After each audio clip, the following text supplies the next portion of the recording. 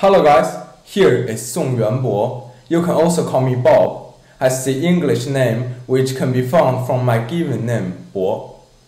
I'm 15 years old, a Chinese student studying in Finland. Now, let me introduce a bit about where I live, Finland. If you want to know a country, it's better to know the environment first, so the weather. Finland has a pretty strong contrast between winter and summer. However, freezing cold in winter. Here, the temperature remains almost constantly around or even below freezing 0 degree from mid-November to late March. Although the weather is extremely cold, it doesn't affect the Finns' passion for sports. Ice hockey, skiing, skating, ice swimming, and so on.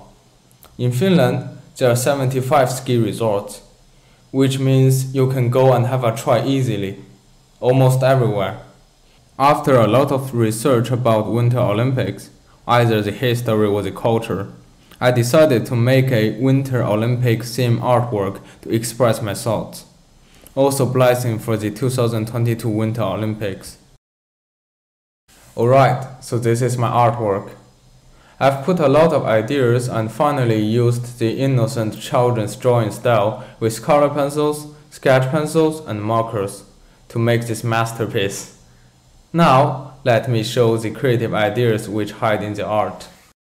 I've used the Winter Olympics mascot Bing Dundun and Winter Paralympics mascot Xue Rongrong with me as the main characters in the picture.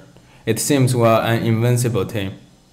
However, I used Finland's national flower Guel orchid, China's national flower Moutan peony, China's national treasure panda, Finland's national treasure little brown bear, and flag of China, Finland, Europe as elements to imply the friendship between Finland and China.